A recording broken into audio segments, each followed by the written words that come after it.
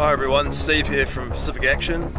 Welcome to the uh, first episode of Adventures with Pacific Action.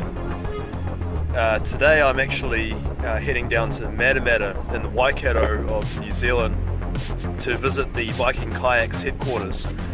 Um, great team down there, Grant Montague and uh, Stephen Tapp, you might be familiar with. And uh, so yeah, I'm just about to leave Auckland. Uh, went to the Roof Rack Centre at Canoe and Kayak in uh, Constellation on the North Shore uh, yesterday, and the team very helpfully uh, fitted up a brand new Whispbar system um, to my Subaru Legacy and uh, installed a Rhino Rack cradle system uh, to make transporting the kayak a bit easier. So as I mentioned in my recent Facebook post, uh, we're actually going to be using a Viking Profish Reload as our official demonstrator boat uh, moving forward. So uh, yeah, very much looking forward to uh, getting my hands on that. And uh, yeah, just um, we'll provide an update shortly. Uh, just want to give you a quick look at the uh, roof rack system. So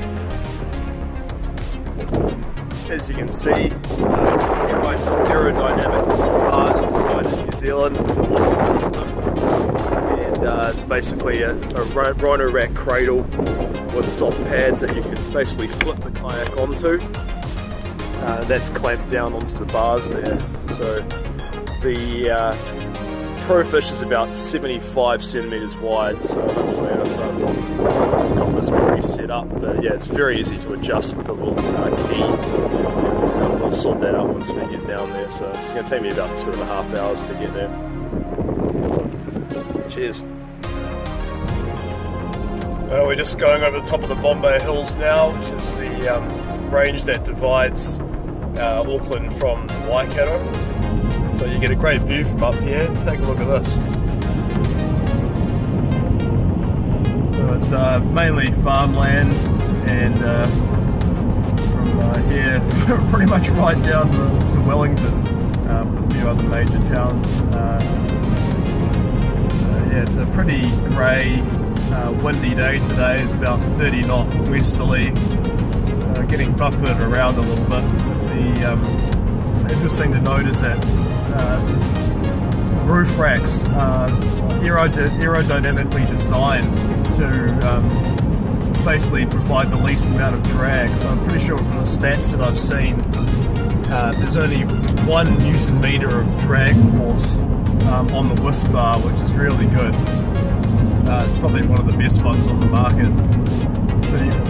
You, get a little bit more with the Rhino Rack cradles there, but it's, it's extremely quiet and I haven't noticed any uh, performance um, degradation um, on the driving as well. So yeah, we're just about to uh, turn off left here to um, the Coromandel and uh, Tauranga and uh, pretty much with one one turn this will take us all the way to Matamata. So, so we're about um, about a third of the way there now.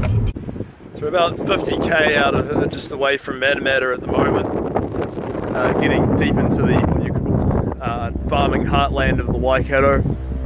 So I just wanted to uh, show you uh, a bit of a view from up here. So uh, basically what we're looking at is the Hauraki Plains and this used to be all swampland that was drained for farming about 100 years ago. And in the distance, uh, you can see what they call the Kaimai Ranges. So that's another um, uh, big range that separates the, the, coast on the other side from uh, you know the, this drained farmland. So there's a, a big lake you can probably see um, down in the, with uh, native um, yeah, swampland and whatnot that's been left as a reserve right in the middle there. And then as you sort of go north, the mountains go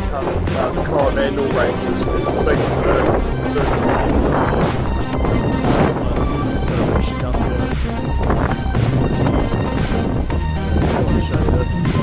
pretty classic uh, New Zealand, a lot of cows.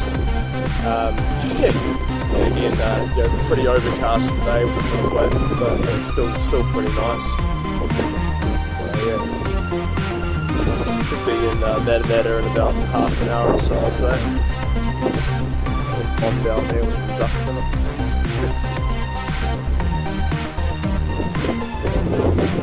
Pretty lucky to live in this beautiful country, that's for sure. I just thought I'd show you this. It's, uh, we're down on the Hauraki Plains proper now, and uh, just got a great shot of the Kaimai Ranges in the background. You can see how flat the plains are relative to the mountain range. Uh, we just basically got that uh, nature swamp area um, off to the left. So yeah, take a look at this.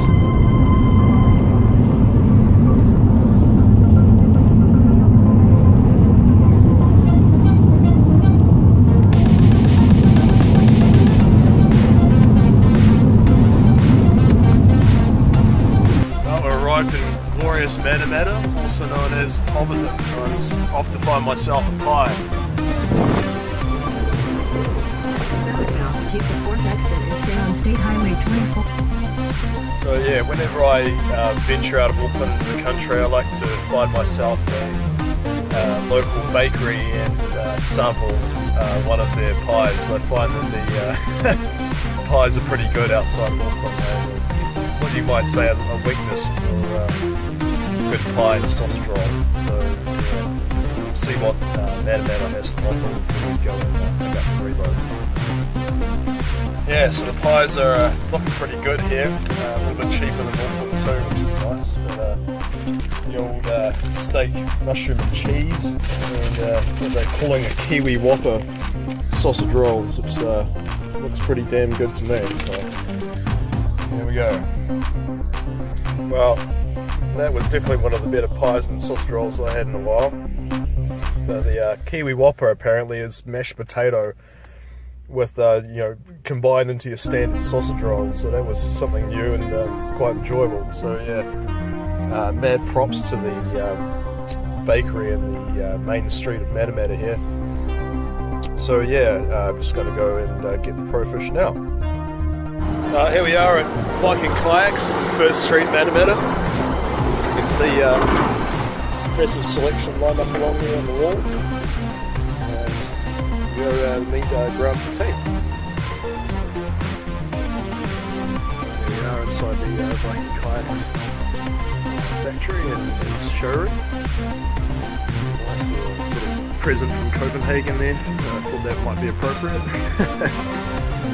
and uh, yeah, it's obviously uh, some beautiful, beautiful kayaks. Can't say enough about the quality of Viking really. And, uh, here's a um, uh, Profish reload, the same, same one on there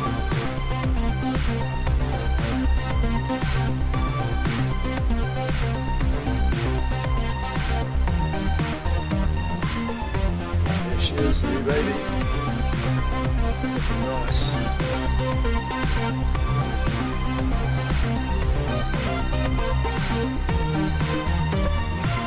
Well, we're all fitted up here and uh, got my Viking Kayaks cap on. Proud supporter. And uh, yeah, got the um, reload uh, nicely positioned on the cradles and all strapped down.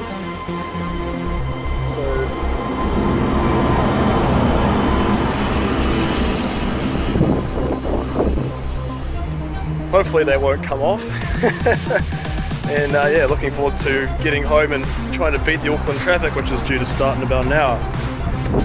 So uh, yeah, it's been a productive day, and yeah, looking forward to getting out on the water. It's like the uh, boat isn't moved, that's something.